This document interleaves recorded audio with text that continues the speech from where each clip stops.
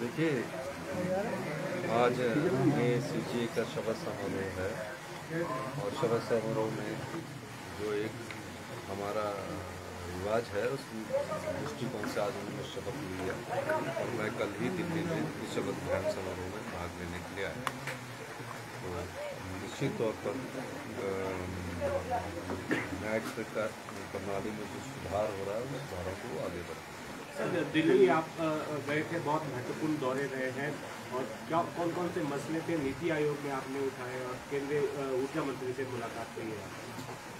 देखिए केंद्रीय ऊर्जा मंत्री जी से मेरी कल काफ़ी लंबी चर्चा हुई और उस चर्चा में हमने जो शानन विद्युत प्रोजेक्ट है, जिसकी लीज ख़त्म हो रही है, उस लीज के संदर्भ में हमने उनसे बात की और कहा कि इसकी लीज ख़त्म हो रही है, शानन विद्युत प्रोजेक्ट। अब हिमाचल प्रदेश सरकार को मिलना चाहिए। हिमाचल प्रदेश जनता का उस पर अधिकार है।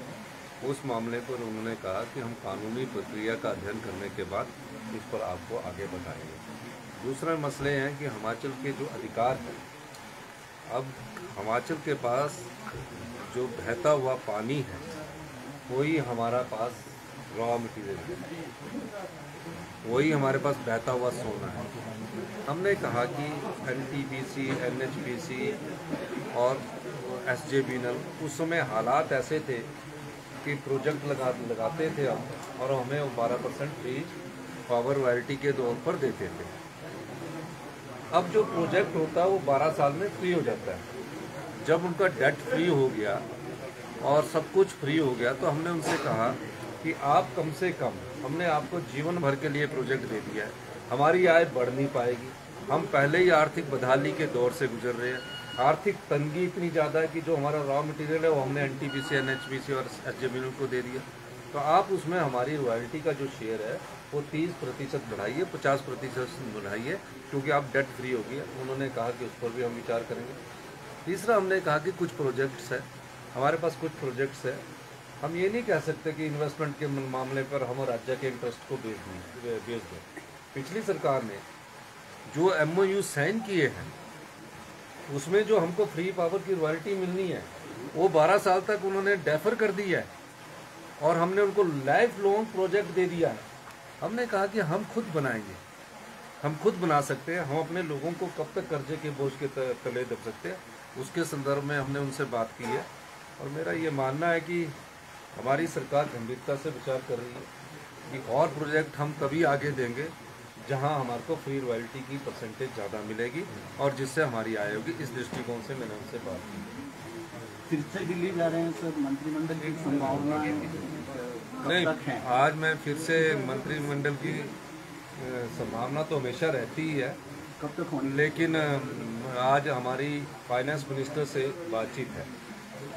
2022-23 में हमारे जो लोन की लिमिट थी वो साढ़े चौदह हज़ार करोड़ रुपए थी हमारी सरकार को बने हुए पाँच महीने आए, उन साढ़े चौदह हज़ार करोड़ में से उन्होंने साढ़े पाँच हज़ार करोड़ हमारी लोन की लिमिट को कम कर दिया।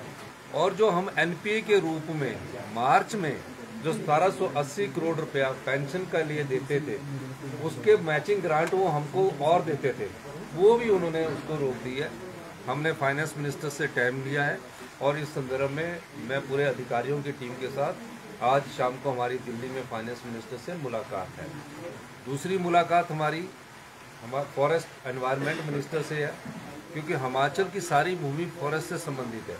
हमने Rajiv Gandhi day boarding school बनाने हैं, हमने हेलीपोर्ट बनाने हैं, हमारे बजट में प्रावधान किया गया है। इस दृष्टि से हम उनसे कह रहे हैं कि हमें कुछ रिलैक्सेशन दी जाए ताकि हम अपने विकास को गति प्रदान कर सकें।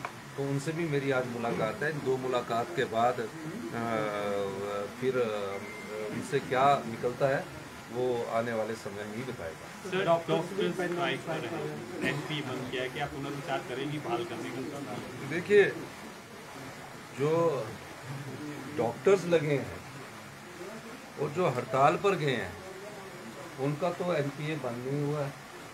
ये पहली बार हुआ है कि जिनको एनपीए मिल रहा है वो स्ट्राइक पर जा रहे हैं। एनपीए कोई बंद नहीं किया गया विड्रॉ किया गया था। एक नियम है। इस नियम के तहत डेंटल डॉक्टर के रिटर्न में इंटरव्यू होने हैं। डेंटल डॉक्टर का एक डेपुटेशन हम लोगों से मिला। उन्होंने कहा कि पिछले दो तीन साल से पोस्टें नहीं निकल रही है। आप कृपा करके डेंटल डॉक्टर की कुछ पोस्टें निकाल लो। तो हमने कहा, हम निकालते हैं। और एक मसला हमारे ध्यान में आया। कि डेंटल डॉक्टर हो गए, आयुर्वेदिक डॉक्टर हो गए वेटनरी डॉक्टर हो गए और एलोपैथी डॉक्टर हो गए। उन सबको एनपीए मिलता था। तो डेंटल डेंटल डॉक्टर ने ही खुद बोला कि आप हमारे लिए पोस्टें निकाल दो और हमें एनपीए की ज़रूरत नहीं है, आप हमारे सरकारी रोज़गार दो। तो एक नियम के तहत उसमें बदलाव किया गया। उसमें सभी डॉक्टर्स आ- गए उसमें एलोपैथिक भी आ गए आयुर्वेदिक भी आ गए वेटनरी भी आ गए अब हमने 40 अट्ठतीस डेंटल डॉक्टर की पोस्टें निकाली है। वो कह रहे हैं कि हमें तो सरकारी रोज़गार चाहिए। हम तीन हज़ार के करीब रोज़गार है जिन्होंने लाखों रुपया डेंटल डॉक्टर हमने कहा कि हम आपको पोस्टें निकाल रहे हैं हमने कैबिनेट में सेंक्शन किया। उसी समय एक नियम आया। उस नियम में ये कहा गया कि जो डेंटल डॉक्टर के इंटरव्यू है, वो एल नहीं लेना चाहते, उसमें बदलाव किया गया। इसलिए ये जो डॉक्टरों की बात है पहले इस बात को समझना चाहिए था और मेरे, हम हमसे बात करनी चाहिए थी और हमने उनको बात समझानी थी। जब डॉक्टरों की पोस्टें एलोपैथिक की निकलेगी, जब डॉक्टरों की एलोपैथिक की निकले तो जो विड्रॉ किया उस पर पुनः विचार किया जा सकता है। लेकिन ये गलत बात है कि आप जिनको एनपीए मिल रहा है, वो हड़ताल कर रहे हैं।